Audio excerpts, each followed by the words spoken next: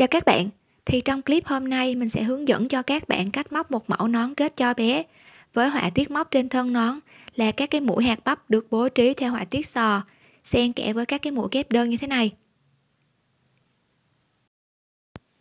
Phía trước thì mình có móc một cái mẫu vành kết nhỏ có trang trí dây ngang và hoa trên thân nón thì đối với mẫu nón này, các bạn có thể phối thêm nhiều màu khác nhau để cho phù hợp với bé trai hoặc là bé gái ha. Ở đây mình có show cho các bạn một vài mẫu họa tiết nè.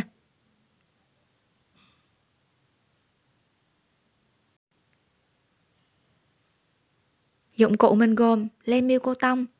Ở đây mình dùng miêu cô tông cuộn 125 g sợi len dày tầm khoảng 1.75 đến 2 mm ha. Kim móc thì mình dùng kim móc 3.0 mm đầu kim này sẽ lớn hơn sợi len 1 phần 2 nè. Đây đầu kim của mình so với sợi len sẽ như thế này. Thì cái đầu kim này mình sẽ dùng để móc phần thân nón trước và cái phần dây ngang này ha. Ngoài ra thì mình còn dùng đầu kim hai đầu và dùng đầu số 4 nè. Thì cái đầu kim này nó sẽ bằng hoặc là nhỏ hơn sợi len một chút. Mình dùng đầu kim này để móc cái phần vành nón á. Đây, mình sẽ móc cái viền của vành nón như thế này và hoa trang trí ha cũng như là cái họa tiết trái tim ở phía trên. Ngoài ra còn có kéo cắt len. Bây giờ mình sẽ hướng dẫn móc phần thân nón trước. Đầu tiên tạo một vòng tròn. Móc và kéo len qua vòng tròn. Từ đây móc lên một mũi móc xích. Sau đó móc vào vòng tròn ta vừa tạo 6 mũi móc đơn. Móc đơn thứ nhất móc đơn thứ hai. Móc đơn thứ ba. Móc đơn thứ tư. Móc đơn thứ năm và móc đơn thứ sáu. Khi đã được 6 mũi móc đơn liên tiếp, ta nắm sợi len ngắn gút thật mạnh vào để vòng tròn của mình nhỏ lại nè. Sau đó đâm kim vào cái chân móc của mũi móc đơn đầu tiên, thì đây sẽ là chân móc của mũi móc đơn đầu tiên nè mũi móc của cái vòng tròn phía dưới á, móc vào cho mình một mũi dời.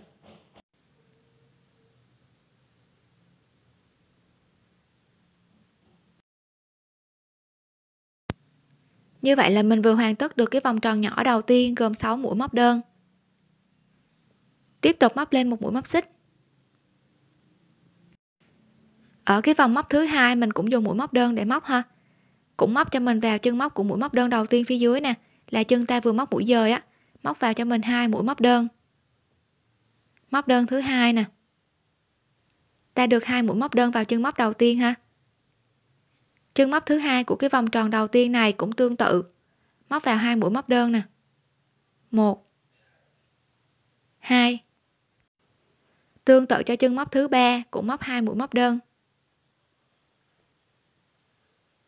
Tiếp tục hai mũi móc đơn vào chân móc thứ tư.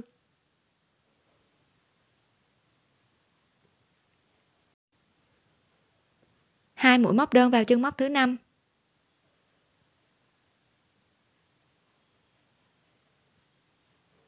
Và hai mũi móc đơn vào chân móc thứ sáu là chân móc cuối cùng ha?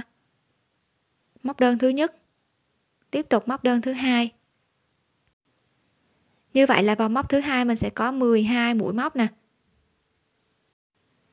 Để kết thúc được cái vòng móc thứ hai này, cũng đâm kim vào cái chân móc của mũi móc đơn đầu tiên ở cái vòng móc này ta sẽ móc vào đây một mũi dời.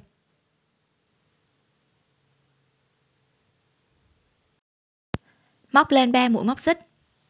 2 và 3 thì mình vừa hoàn tất được cái hai cái vòng tròn và cái vòng tròn của mình nó sẽ kết thúc ở 12 mũi móc.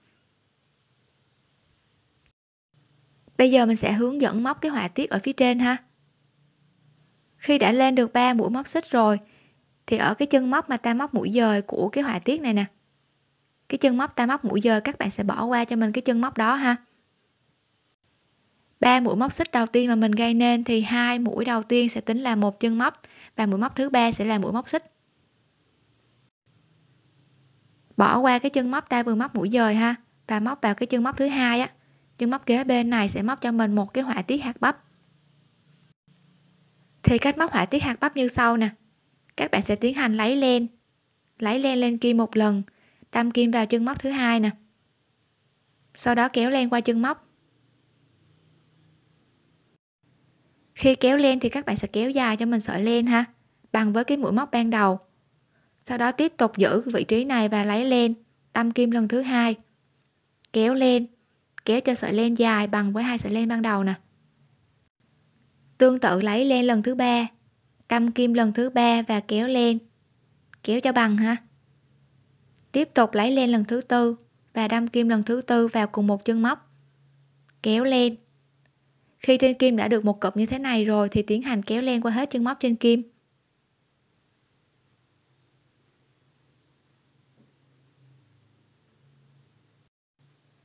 Thì ta được một mũi hạt bắp đầu tiên nè. Từ đây móc lên hai mũi móc xích. Ta được hạt bắp đầu tiên ha? Có khoảng cách là một mũi móc xích so với cái mũi đầu tiên nè. Thì tiếp tục ở chân móc thứ ba của cái vòng tròn phía dưới á. Chân móc thứ ba mình cũng móc một họa tiết hạt bắp tương tự như họa tiết mà mình vừa móc. Các bạn cũng tiến hành lấy len. Sau đó đâm kim lần thứ nhất vào chân thứ ba nè. Kéo dài sợi len bằng với cái mũi ban đầu ha. Tiếp tục lấy len lần thứ hai và đâm kim lần thứ hai vào chân móc. Kéo dài sợi len lấy len lần thứ ba, đâm kim lần thứ ba vào chân móc. Cũng kéo dài sợi len và tương tự lấy len đâm kim lần thứ tư. Sau đó kéo len qua hết chân móc trên kim. Ta được mũi họa tiết hạt bắp thứ hai ha? Từ đây móc lên hai mũi móc xích. Sau đó móc vào chân móc thứ tư của cái vòng tròn phía dưới, móc vào đó một mũi kép đơn.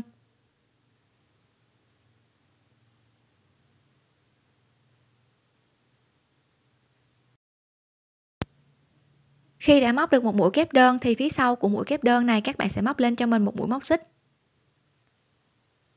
Khác với các cái cụm phía trước ha, mình móc lên hai mũi móc xích nè, thì ở luôn luôn ở phía sau của mũi kép đơn các bạn sẽ móc lên cho mình một mũi móc xích thôi ha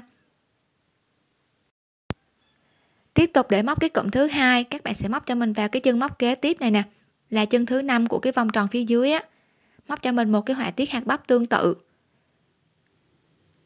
Lấy len lần thứ hai, đâm kim lần thứ hai vào chân móc nè. Kéo lên tiếp tục lấy và đâm kim lần thứ ba. Kéo lên lấy và đâm kim lần thứ tư. Kéo lên sau đó kéo qua hết chân móc trên kim. Móc lên hai mũi móc xích. Chân móc kế tiếp sẽ móc một cái họa tiết tương tự như vậy. Cũng lấy len và đâm kim 4 lần vào một chân móc. Tương tự như các cái mũi móc mà mình vừa móc ha. Lần thứ nhất nè. Tiếp tục lấy len và đâm kim lần thứ hai. Lấy và đâm kim lần thứ ba. Đâm kim lần thứ tư. Sau đó kéo qua hết chân móc trên kim. Lên hai mũi xích. Khi hai chân móc đã tạo ra được hai cái họa tiết hạt bắp này rồi, thì cái chân móc tiếp theo sẽ là một mũi kép đơn tương tự như cái mũi này ha. Móc vào chân kế bên một mũi kép đơn. Phía sau mũi kép đơn sẽ là một mũi móc xích nè.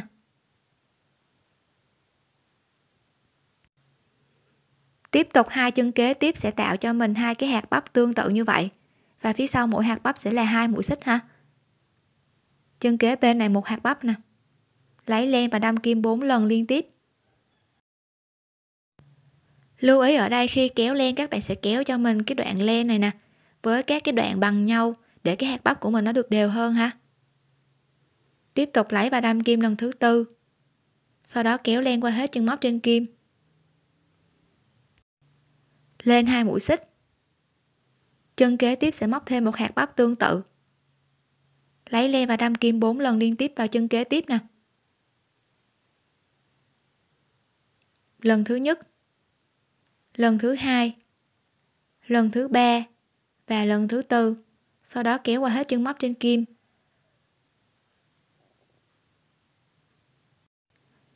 Được hai mũi rồi thì lên hai mũi xích. Chân kế tiếp sẽ móc một mũi kép đơn.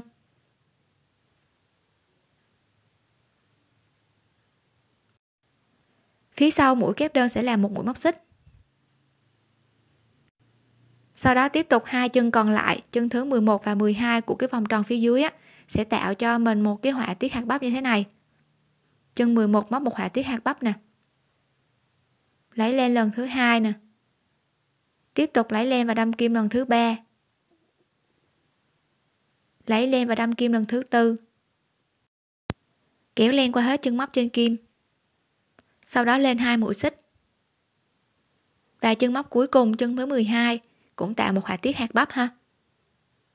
Lần thứ nhất, lần thứ hai, lần thứ ba, và lần thứ tư, sau đó kéo qua hết chân móc trên kim.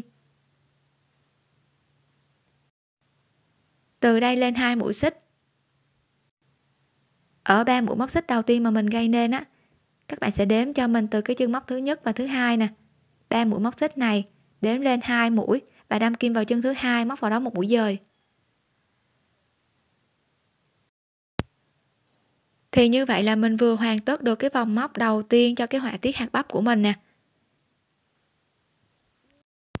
Thì ở mẫu này, lưu ý các cái chân móc ở phía sau của mũi kép đơn, mình sẽ móc lên một mũi móc xích thôi ha, để cho cái khoảng cách, cái khoảng trống nè khoảng trống hai mũi móc xích ở phía hạt bắp và khoảng trống một mũi móc xích ở phía mũi kép đơn, nó sẽ có cái khoảng trống bằng nhau. Từ đây móc lên 3 mũi móc xích. 1 2 và 3 ta hoàn tất được vòng móc họa tiết đầu tiên với cái họa tiết sò bắp nè. Xen kẽ là mũi kép đơn. Sò thứ ba xen kẽ mũi kép đơn và sò thứ tư xen kẽ là mũi kép đơn. Đây ta sẽ được họa tiết như thế này thì để tiếp tục móc cái vòng móc kế tiếp. Mình sẽ tiến hành tăng mũi ở cái cụm mũi kép đơn này nè. Cái cụm mũi kép đơn đầu tiên này ta sẽ tiến hành tăng mũi ha. Khi đã móc lên được 3 mũi móc xích thì ở cái chân móc mà ta móc mũi dời cuối cùng nè chân móc xích thứ hai của ba mũi móc xích phía dưới á, móc vào cho mình hai mũi kép đơn. Kép đơn thứ nhất và kép đơn thứ hai khi được hai mũi kép đơn vào cái chân móc đầu tiên, tính luôn cả ba mũi móc xích đầu tiên ta gây nên, thì ở đây mình sẽ có 3 mũi móc. Lưu ý ở vòng móc thứ hai này cũng vậy ha, phía sau mũi kép đơn sẽ là một mũi móc xích. Sau đó di chuyển kim cho mình đến cái khoảng trống của cái họa tiết sò đầu tiên nè. Họa tiết sò hạt bắp đầu tiên này, cái khoảng trống này mình sẽ móc hai họa tiết tương tự. Ta sẽ móc vào khoảng trống này hai họa tiết hạt bắp ha lấy len và đâm kim 4 lần liên tiếp. Lưu ý nè, khi lấy len các bạn cũng kéo dài sợi len cho mình ra ha. Bốn lần liên tiếp rồi thì kéo len qua hết chân móc trên kim. Sau đó móc lên hai mũi móc xích. Và tiếp tục móc vào cái khoảng trống chính giữa này nè, móc tiếp cho mình một họa tiết hạt bắp nữa. Lấy len 4 lần, đâm kim 4 lần vào khoảng trống luôn ha mỗi lần lấy len và đâm kim thì kéo dài sợi len, sau đó kéo qua hết chân móc trên kim. Tiếp tục lên hai mũi xích. Di chuyển kim đến chân móc của mũi kép đơn kế bên này. Đây là mũi kép đơn lẻ ở bên này ha. Thì cái chân móc của mũi kép đơn này sẽ móc cho mình vào đây ba mũi kép đơn liên tiếp với nhau, vào cùng một chân móc. Kép đơn thứ nhất. Kép đơn thứ hai. Và tiếp tục kép đơn thứ ba như vậy là ở đây mình cũng tăng lên được hai mũi móc, bằng với số mũi móc tăng ở cái điểm đầu tiên nè. Ba mũi móc xích gây nên đầu tiên ha. Phía sau của mũi kép đơn thì tương tự giống như các cái mũi kép đơn kia nè, cũng móc lên một mũi móc xích. Sau đó tương tự di chuyển kim đến khoảng trống chính giữa của hai cái họa tiết hạt bắp phía trên này. Cũng móc vào chính giữa này, hai họa tiết tương tự giống như hai họa tiết mà mình vừa móc ở đây. Mỗi họa tiết hạt bắp cũng lấy len và đâm kim 4 lần liên tiếp kéo dài sợi len nè. Lần thứ ba, tiếp tục lần thứ tư, sau đó kéo qua hết chân móc trên kim. Lên hai mũi xích và thêm một hạt bắp tương tự vào cái khoảng trống ta vừa móc.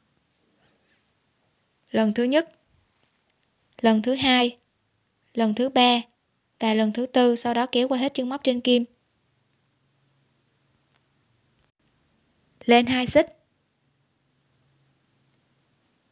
sau đó cũng di chuyển kim cho mình đến cái chính giữa của họa tiết tiếp theo tức là cái mũi kép đơn á, để ta thêm mũi ở đây.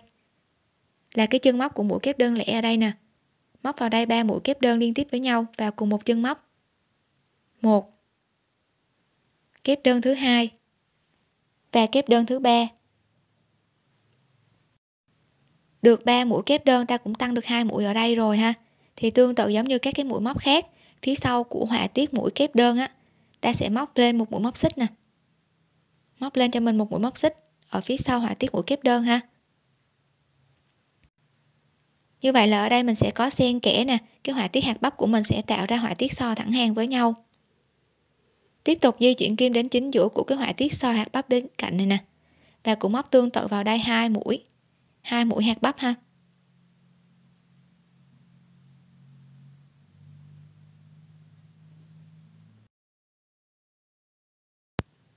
Lên hai xích và mũi hạt bắp thứ hai cho cái họa tiết chính giữa này.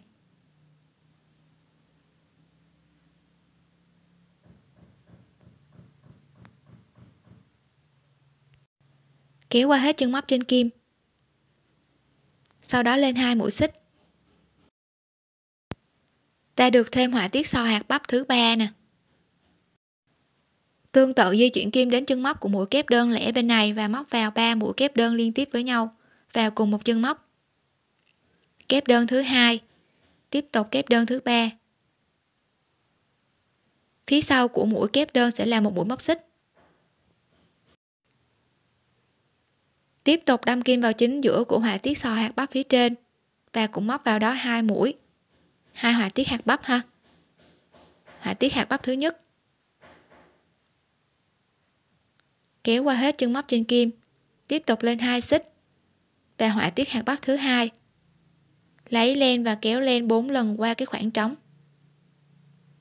Lần thứ hai, lần thứ ba, lần thứ tư kéo qua hết chân móc trên kim. Sau đó lên hai mũi xích. Thì như vậy là mình sẽ được bốn họa tiết hạt bắp sò xen kẽ. Để kết thúc cái vòng móc này thì các bạn sẽ tiến hành đâm kim cho mình vào chân móc thứ ba của ba mũi móc xích này nè. Đâm kim vào móc một mũi dời. Như vậy là cái cụm phía dưới này mình cũng có được ba chân móc, tương tự như ba chân móc ở phía bên cạnh ha. Đây, một, hai và 3 nè. Sau đó từ đây tiếp tục móc lên cho mình 3 mũi móc xích. 1 2 và 3 kết thúc cái vòng móc thứ hai họa tiết này nè, thì cái họa tiết của mình nó được nổi lên hơn với bốn họa tiết hạt bắp sò, xen kẽ với các cái mũi kép đơn. Tiếp tục để tăng mũi cho vòng móc thứ ba. Thì ở đây mình cũng tăng mũi ở các cái cụm mũi kép đơn ở đây nè. Móc vào chân móc ta vừa móc mũi dời. Là cái chân móc thứ ba móc vào đó một mũi kép đơn. Thì ở đây mình sẽ tăng lên được một mũi móc ha. Tính luôn mũi móc xích đầu tiên thì ở đây mình sẽ có được một mũi móc nữa nè. Ta sẽ có hai chân móc. Ở cái chân móc của mũi kép đơn thứ hai bên này nè. Móc vào đó hai mũi kép đơn. Kép đơn thứ nhất và kép đơn thứ hai. Tiếp tục chân móc của mũi kép đơn còn lại. Mình cũng tương tự như hai chân móc này. Ta cũng móc vào đó hai mũi kép đơn kép đơn thứ nhất nè. Tiếp tục kép đơn thứ hai. Như vậy là ở cái cụm tăng mũi này mình sẽ tăng lên được 3 mũi móc ha. Ta sẽ có 6 chân móc ở đây. Nó sẽ tăng gấp đôi so với cái chân móc ở phía trên nè. Mỗi chân mình sẽ móc hai mũi kép đơn vào mỗi chân móc. Thì tương tự phía sau chân móc của mũi kép đơn sẽ là một mũi móc xích sau đó ở cái họa tiết sò hạt bắp này cũng tương tự, móc vào chính giữa của hai họa tiết sò phía trên á. Móc vào đó cho mình hai hạt bắp tương tự. Và mỗi hạt bắp cũng lấy lên đâm kim 4 lần liên tiếp. Lần thứ ba. Tiếp tục lần thứ tư, sau đó kéo qua hết chân móc trên kim. Lên hai xích. 1 2 tiếp tục móc vào đó một họa tiết hạt bắp nữa lấy len và đâm kim 4 lần. Sau đó kéo len qua hết chân móc trên kim. Lên hai xích. Ở cái cụm tăng mũi thứ hai á, cái cụm tăng mũi kế tiếp này cũng tương tự giống như cái cụm đầu tiên. Thì ta cũng móc vào ba chân này, mỗi chân sẽ có hai mũi kép đơn vào mỗi chân ha. Chân đầu tiên móc hai mũi kép đơn. Một, hai tiếp tục chân móc thứ hai, chân nằm chính giữa này cũng móc vào đó hai mũi kép đơn.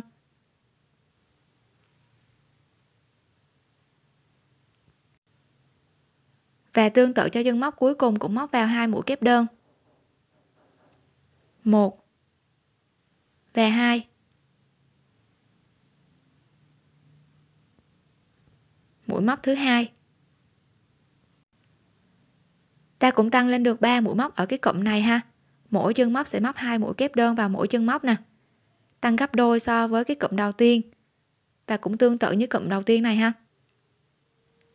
Phía sau mũi kép đơn móc lên một mũi móc xích. Tương tự di chuyển kim đến khoảng trống chính giữa của họa tiết sò hạt bắp phía trên này và cũng móc hai họa tiết hạt bắp vào đây.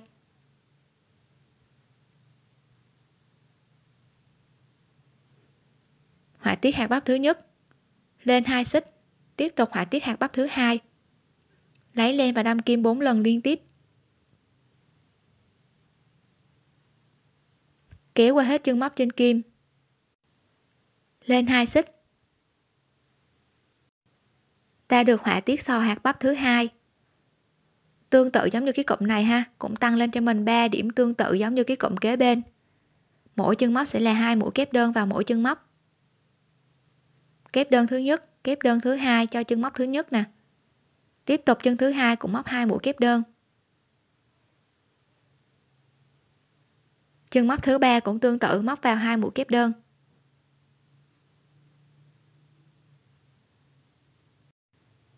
Phía sau của chân móc kép đơn thì ta sẽ móc lên một mũi móc xích. Tiếp tục móc vào chính giữa này một họa tiết sò hạt bắp nè hai họa tiết hạt bắp vào đây ha.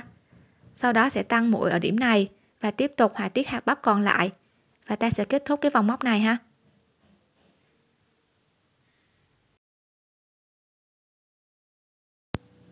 Ta được họa tiết hạt bắp đầu tiên nè, lên hai xích. Sau đó tiếp tục một họa tiết hạt bắp nữa.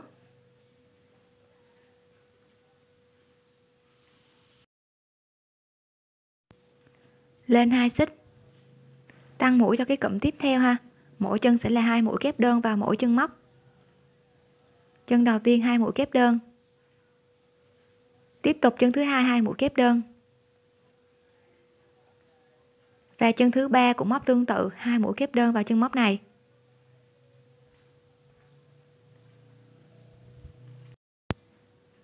Phía sau mũi kép đơn là một mũi móc xích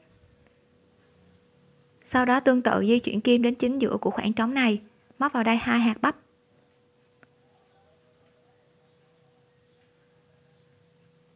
Kéo qua hết chân móc trên kim ta được hạt bắp thứ nhất nè. Lên một xích. Lấy len và đâm kim 4 lần liên tiếp. Sau đó kéo qua hết chân móc trên kim. Lên hai xích. Thì mình vừa hoàn tất được vòng móc thứ ba nè, vòng móc họa tiết thứ ba và nó giúp cho cái hàng móc của mình nó có cái độ rộng ra hơn nè, khi thêm mũi như thế này ha. Mỗi vòng móc thì mình sẽ tăng lên 12 mũi móc. Tức là ở mỗi cụm này ta sẽ có 3 mũi móc tăng đều, ở mỗi cái cụm mũi kép đơn ha.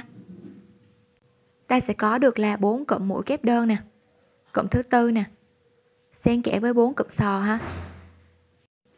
Và để kết thúc được cái vòng móc này, nó cũng tương tự giống như vòng móc thứ hai á các bạn cũng móc cho mình vào cái chân móc xích thứ ba của ba mũi móc xích này. Móc vào đây một mũi dời. Sau đó lên ba mũi móc xích. Bây giờ mình sẽ hướng dẫn cho các bạn cách tăng cái vòng móc thứ tư ha, vòng móc họa tiết thứ tư. Ở cái vòng móc họa tiết thứ tư thì mình cũng tăng 12 mũi cho cái vòng móc này tính 3 mũi móc xích này là một mũi rồi thì các bạn sẽ tiếp tục bỏ qua cho mình cái chân móc mà ta vừa móc mũi dời. Đây, các bạn sẽ nhìn ở cái hàng móc phía dưới ha. Ta có hai chân móc cùng một chân nè. Tính luôn cái xích đầu tiên thì ta sẽ có hai mũi móc cùng chân đầu tiên này. Thì các bạn sẽ tiến hành thêm mũi cho mình ở cái chân móc thứ hai của hai mũi có cùng một chân ha. Thì cái chân móc kế bên này nè, móc vào đó hai mũi kép đơn. Một và hai như vậy là ở đây mình đã tăng lên được một mũi móc nè. Tiếp tục ở hai cái chân móc kế tiếp. Cái chân kế bên này móc một mũi kép đơn. Khi gặp cái chân móc thứ hai của hai mũi có cùng chân nè, đây là hai chân móc. Hai cái mũi móc này nó có cùng một chân ở phía dưới. Thì cái chân móc thứ hai này ta sẽ móc vào đó hai mũi kép đơn ha. Kép đơn thứ nhất. Tiếp tục kép đơn thứ hai thì mình cũng tăng thêm được một mũi móc nè. Một mũi kép đơn, xen kẽ là hai mũi kép đơn cùng chân móc. Thì chân kế bên một mũi kép đơn. Và cái chân kế tiếp cũng là cái chân thứ hai của hai mũi có cùng một chân nè. Hai mũi móc có cùng một chân móc thì cái chân này cũng móc vào hai mũi kép đơn ha. Một và hai. Như vậy là ở cái hàng móc tăng mũi này mình đã tăng lên được 3 mũi móc cho cụm đầu tiên ha nó sẽ tăng tương tự giống như cái hàng móc ở phía trên á. Ta tăng được 3 mũi móc. Và cũng tương tự giống như các cái hàng móc ở phía trên nè. Khi các bạn móc cho mình đến cái mũi kép đơn rồi á, thì phía sau của mũi kép đơn ta luôn luôn móc một mũi móc xích ha. Di chuyển kim đến khoảng trống chính giữa của hai cái họa tiết này nè. Móc vào chính giữa này hai cái họa tiết hạt bắp. Lấy len và đâm kim 4 lần sau đó kéo lên qua hết chân móc trên kim. Lên hai xích và tương tự một hạt bắp nữa. Để mình tạo ra được họa tiết hạt bắp sò ha. Qua hết chân móc trên kim nè. Sau đó lên hai xích. Thì mình vừa hoàn tất được cái họa tiết sò tiếp theo nè. Cụm móc kép đơn kế tiếp cũng tương tự tăng mũi nè. Móc vào chân đầu tiên một mũi kép đơn khi gặp cái chân móc thứ hai của hai mũi có cùng một chân móc nè, thì đây sẽ là chân móc thứ hai của hai mũi có cùng chân móc vào cho mình hai mũi kép đơn. Ta tăng được mũi đầu tiên ha. Các chân kế tiếp, mỗi chân cũng móc một mũi kép đơn vào mỗi chân móc. Khi gặp chân thứ hai của hai mũi có cùng một chân móc, thì cái chân thứ hai này móc vào hai mũi kép đơn. Tiếp tục chân kế bên móc một mũi kép đơn chân kế tiếp sẽ là chân thứ hai của hai mũi có cùng một chân. Thì cái chân thứ hai này móc vào hai mũi kép đơn.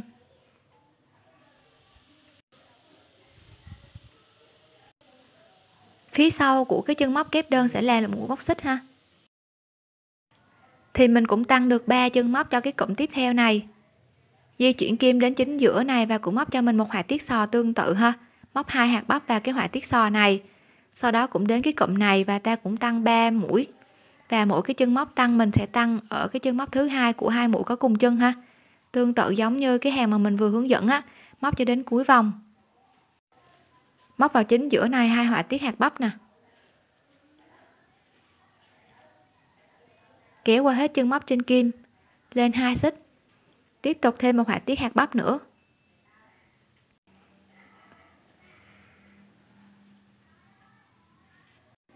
Lên hai xích. Thì ngoài cái cách tăng mũi, tăng vào cái chân móc thứ hai của hai mũi có cùng chân như mình hướng dẫn ở đây nè, thì nhiều bạn không có phân biệt được cái chân móc thứ nhất và thứ hai á, thì các bạn có thể tăng mũi như sau nè. Mình sẽ hướng dẫn cho các bạn tăng mũi một cách dễ dàng hơn ha. Thì các bạn để ý cho mình nè, ở mỗi cụm mũi kép đơn như thế này thì mình sẽ tăng 3 mũi móc. Cụm thứ hai cũng tăng 3 mũi nè, và các cái mũi tăng mình sẽ tăng vào chân móc thứ hai của hai mũi có cùng chân ở phía dưới đây các cái cụm mũi tăng này mình sẽ tăng vào chân thứ hai nè. Ở cái điểm đầu tiên mình cũng tăng vào chân thứ hai ha. Tức là ta sẽ có 3 điểm tăng cho mỗi cụm. Để dễ dàng cho việc tăng và mình không cần phải nhìn mũi móc á, thì các bạn sẽ tiến hành tăng cho mình 3 mũi móc ở cái cụm tiếp theo này. Mình sẽ tăng một điểm đầu, một điểm cuối và một điểm ở chính giữa. Thay vì các cái hàng móc phía bên kia mình móc tăng vào cái chân móc thứ hai, thì bây giờ mình sẽ không tăng vào chân thứ hai nữa mình sẽ tăng vào 3 điểm đầu giữa và cuối. Thì chân đầu tiên các bạn sẽ móc cho mình hai mũi kép đơn vào chân đầu tiên trước. Ta sẽ móc vào chân đầu tiên này hai mũi kép đơn nè. Tức là mình sẽ tăng một mũi ở đầu tiên này trước. Khi đã tăng được một mũi ở điểm móc đầu tiên, thì tiếp tục các chân móc kế tiếp, mỗi chân sẽ làm một mũi kép đơn vào mỗi chân móc. Ở cái chân móc chính giữa của cái cụm này nè, các bạn có thể tăng cho mình một chân móc bất kỳ vào chính giữa này ha. Mình có thể tăng vào chân móc mình vừa móc ở đây, hoặc là chân kế bên các bạn cũng có thể tăng cho mình vào điểm này cũng được ha. Mình sẽ tăng vào cái chân kế bên này hai mũi kép đơn nè. Kép đơn thứ nhất và kép đơn thứ hai. Tiếp tục các chân kế tiếp, mỗi chân làm một mũi kép đơn. Thì khi móc đến cái chân móc cuối cùng này, các bạn sẽ tăng cho mình thêm một điểm ở đây tức là chân cuối cùng ta sẽ có hai mũi kép đơn. Phía sau của mũi kép đơn sẽ là một mũi móc xích. Như vậy là cụm này mình cũng tăng lên được 3 mũi. Một điểm đầu tiên, một điểm cuối cùng và một điểm nằm chính giữa ha. Đây, ta sẽ có 3 điểm tăng như thế này. Điểm đầu nè, điểm cuối và một điểm nằm chính giữa. Ở chính giữa thì các bạn có thể chọn một điểm bất kỳ cũng được ha. Không nhất thiết phải là chân thứ hai của hai mũi có cùng chân nè từ đây mình sẽ làm tương tự cho đến cuối vòng. Và lưu ý cho mình tất cả các cái hàng móc ha. Phía sau mỗi mũi móc thì mình sẽ có hai mũi móc xích. Chỉ riêng cái chân móc mà ở phía sau của mũi kép đơn á, thì ta sẽ móc một mũi móc xích thôi nè. Các bạn sẽ làm tương tự cho đến cuối vòng. Sau đó mình sẽ tăng thêm nhiều vòng móc nữa. Và các cái vòng móc tăng tiếp theo thì cũng tương tự ha. Mỗi cụm mình sẽ tăng 3 mũi móc điểm đầu, điểm cuối và điểm chính giữa, hoặc là có thể tăng vào chân thứ hai của hai mũi có cùng chân ha. Ta sẽ có hai cách tăng như thế này. Và sẽ tăng thêm nhiều hàng móc nữa cho đến khi cái vòng tròn này nó vừa bằng với cái vòng đầu của bé thì các bạn ngưng nha. Mỗi vòng móc ta sẽ tăng 12 mũi ở bốn cụm của các cái mũi kép đơn này. Và mỗi cụm ta sẽ tăng 3 mũi móc ha. Tăng đều 3 mũi móc cho các cái hàng móc tiếp theo.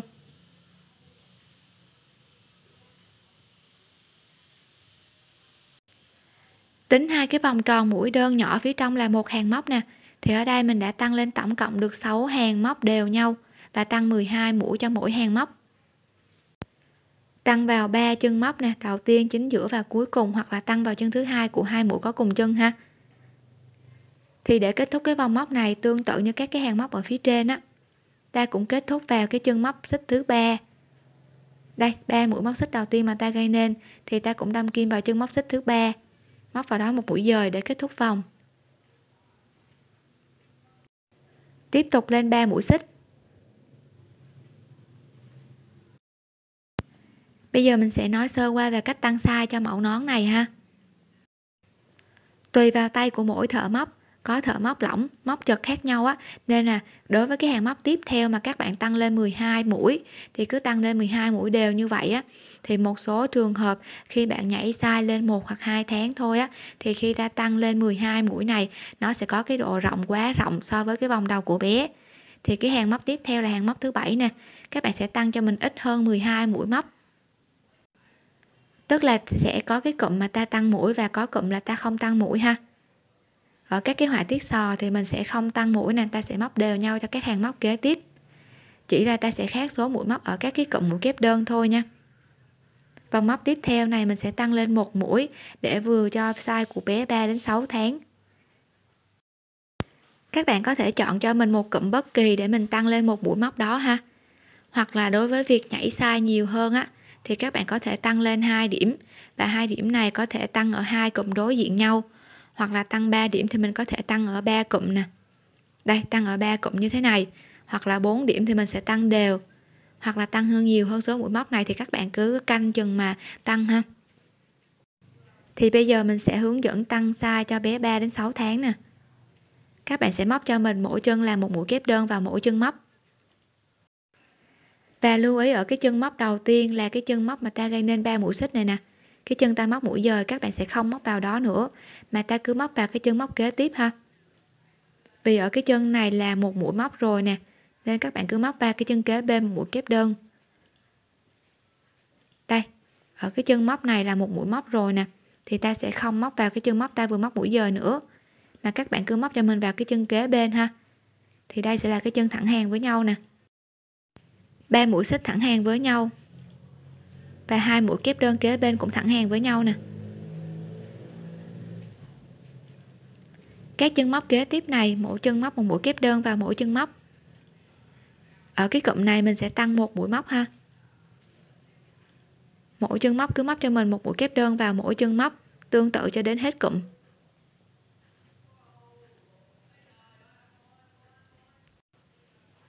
Và ở cái cụm này mình sẽ chọn ra một điểm để mình tăng size tức là mình sẽ thêm một điểm vào cái cụm này.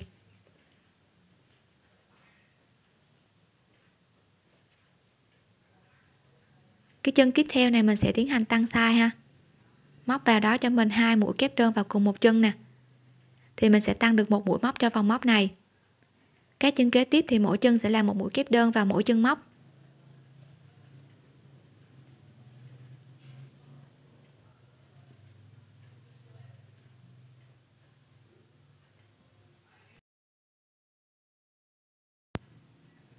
Ở cái vòng móc này mình sẽ tăng một mũi thôi, cho nên mình sẽ tăng điểm chính giữa nè. Hai cái chân móc kế bên mình sẽ không tăng ha. Phía sau chân của mũi kép đơn sẽ lên một mũi móc xích. Tiếp tục di chuyển kim đến chính giữa này và móc cho mình một họa tiết sò hạt bắp. Móc vào đó hai họa tiết hạt bắp. Lấy lên và đâm kim 4 lần liên tiếp. Sau đó kéo lên qua hết chân móc trên kim. Lên hai xích tiếp tục lấy lên và đâm kim 4 lần tương tự. Lần thứ hai, lần thứ ba và lần thứ tư sau đó kéo qua hết chân móc trên kim. Lên hai xích. Thì mình cũng hoàn tất được họa tiết sò nè. Và cái vòng móc này mình đã tăng lên được một mũi móc rồi ha. Thì tiếp tục cái hàng móc kế bên này mình sẽ không tăng mũi nè. Ở phía trên thì mình tăng vào 3 điểm ha, đầu cuối và chính giữa thì ở đây mình không tăng mũi nữa vì mình đã tăng lên một mũi rồi. Thì các bạn sẽ móc cho mình đều. Mỗi chân sẽ là một mũi kép đơn vào mỗi chân móc. Chân đầu tiên này cũng móc một mũi kép đơn. Tiếp tục cho các chân móc kế tiếp nè. Mỗi chân cũng móc một mũi kép đơn vào mỗi chân móc.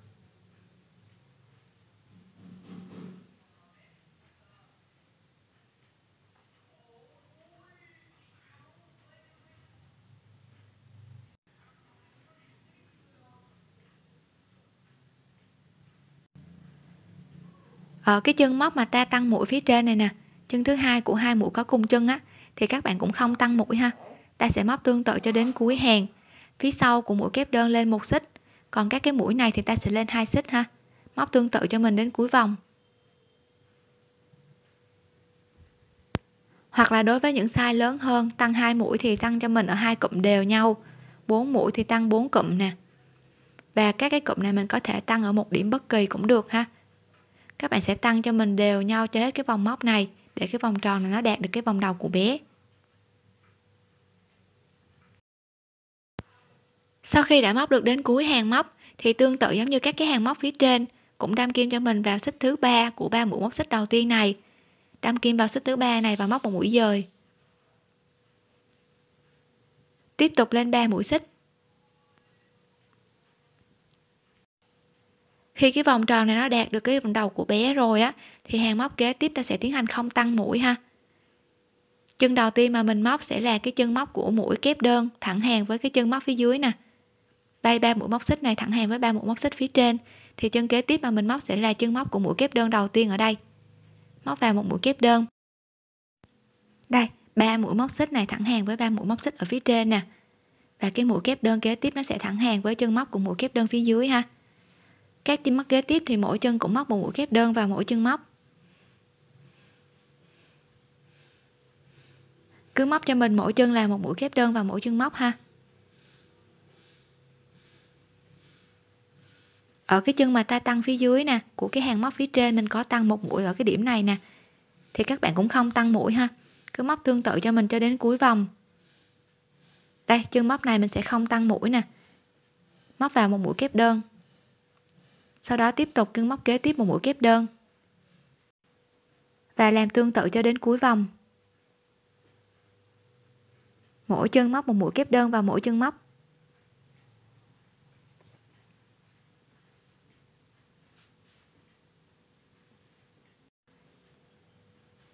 Ở phía sau của cái mũi kép đơn này sẽ là một mũi móc xích ha. Móc lên một mũi móc xích di chuyển kim đến chính giữa này và móc một họa tiết sò hạt bắp vào đây. Ở các cái chân móc của họa tiết sò này nè, ta luôn luôn móc lên hai xích ha. Móc vào khoảng trống này, hai họa tiết hạt bắp.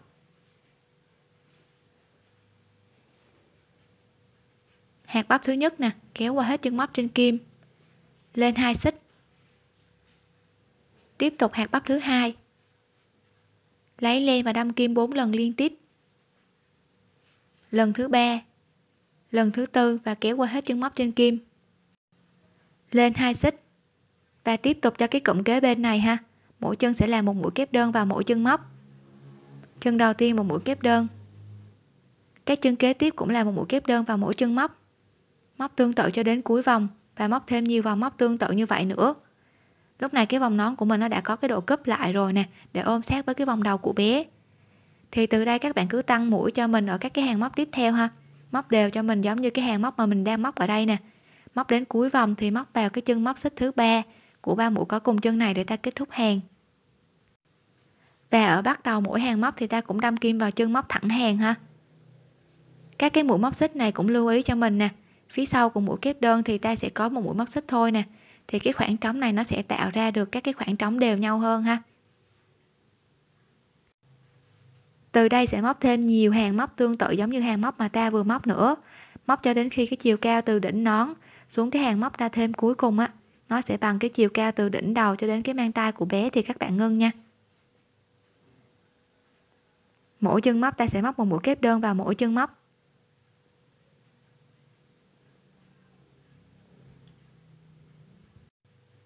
Tương tự cho đến cuối vòng và móc thêm nhiều hàng móc tương tự như vậy nữa ha.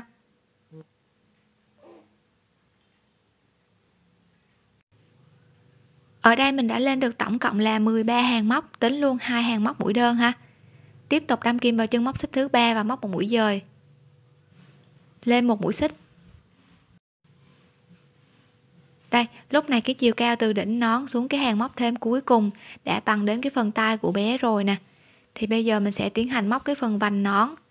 Và trước khi móc cái phần vành nón, các bạn sẽ tiến hành viền cho mình một hàng viền ở đây trước. Ta sẽ sử dụng mũi đơn để móc viền ha. Chân móc đầu tiên mình móc cũng là cái chân móc thẳng hàng với cái mũi kép đơn đầu tiên phía trên này nè. Móc vào một mũi móc đơn. Sau đó tiếp tục chân kế bên cũng móc một mũi móc đơn. Tương tự cho các chân móc kế tiếp, mỗi chân sẽ làm một mũi kép đơn vào mỗi chân móc.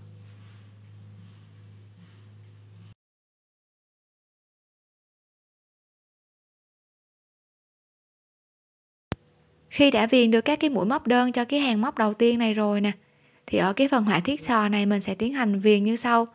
Các bạn sẽ đâm kim cho mình vào các cái khoảng trống ha. Khoảng trống đầu tiên này mình sẽ móc hai mũi móc đơn nè. Một và hai.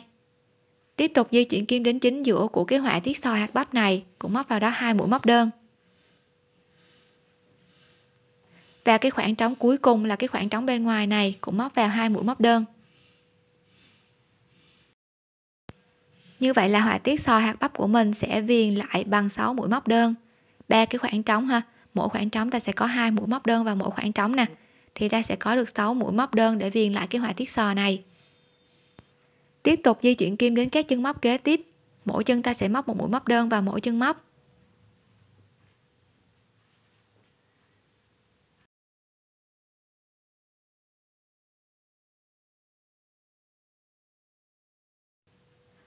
Móc đến cái chân móc của cái họa tiết sò rồi thì cũng tương tự ha. Mỗi khoảng trống ở cái họa tiết sò này ta sẽ móc vào hai mũi móc đơn. Khoảng trống đầu tiên hai mũi móc đơn nè. Móc vào khoảng trống đầu tiên hai mũi móc đơn. Tiếp tục khoảng trống chính giữa của hai họa tiết này cũng móc vào hai mũi móc đơn. Và cái khoảng trống cuối cùng ở bên ngoài này cũng móc hai mũi móc đơn. Ta cũng viền lại được họa tiết sò thứ hai. Di chuyển kim đến cái khoảng này và móc vào mỗi chân móc làm một mũi móc đơn ha. Sau đó cũng tương tự cho cái họa tiết sò này. Ba khoảng trống ta sẽ móc mỗi khoảng trống là hai mũi móc đơn. Móc tương tự cho mình cho đến cuối vòng. Mỗi chân móc móc một mũi móc đơn vào mỗi chân móc.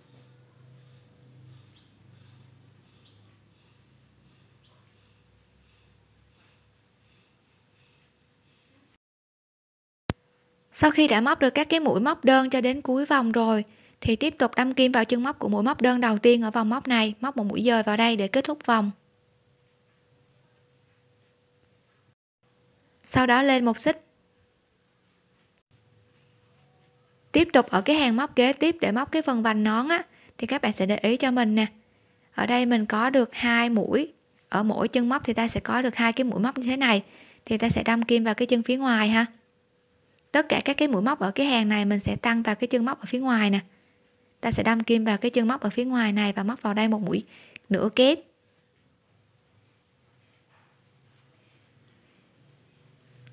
Chân kế bên cũng tương tự ha, đâm kim vào cái mũi ở phía ngoài này nè, móc vào một mũi nửa kép.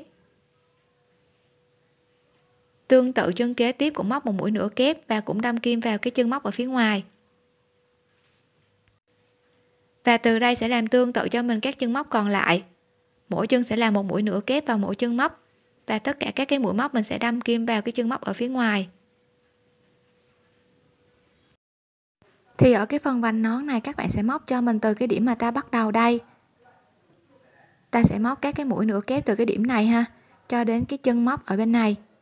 Tức là nó sẽ nằm giới hạn trong khoảng này, ha ta sẽ móc các cái mũi nửa kép cho đến cái chân móc mũi đơn cuối cùng ở cái hạt móc thứ hai này nè. Mỗi chân sẽ móc một mũi nửa kép vào mỗi chân móc. Và tất cả các cái mũi nửa kép này mình đều móc vào cái mũi móc thứ hai nè, cái mũi móc nằm ở phía ngoài của mỗi chân móc. Các bạn sẽ móc cho mình đến cái điểm mà mình đánh dấu bên kia ha. Ở đây mình đã hoàn tất được một cái phần vành nón không nẹp cước như thế này. Thì cái mẫu vành này mình có hướng dẫn ở clip trước rồi. Clip mẫu nón kết không nẹp cước. Ở phút thứ 22 mình có hướng dẫn cách móc cái mẫu vành này rồi ha. Các bạn có thể nhấp vào link bên dưới tham khảo nha. Như vậy là mình hoàn tất được form nón như thế này. Có cái phần kết nhô ra. Bây giờ mình sẽ móc họa tiết trang trí ha. Ở đây mình có móc sẵn các cái họa tiết trang trí như thế này thì các bạn sẽ móc cho mình một cái sợi dây quai ngang như thế này, để mình có thể trang trí ngang qua thân nón nè. Ngoài ra thì mình cũng có móc sẵn các cái họa tiết hoa như thế này và cái họa tiết trái tim để mình trang trí. Thì cái mẫu hoa này với cái họa tiết trái tim mình có hướng dẫn ở clip trước rồi, mình cũng có để lên ở phần dưới mô tả. Các bạn có thể nhấp vào link bên dưới tham khảo ha. Sau đó mình sẽ tiến hành dùng keo để trang trí lên thân nón và sau khi đã đến cố định các cái họa tiết trang trí lên cái phần dây quai ngang và lên thân nón rồi, thì các bạn có thể đính thêm cho mình một vài hạt cườm để cho cái đường dây này nó có cái điểm nhấn hơn ha. Chúc các bạn thành công!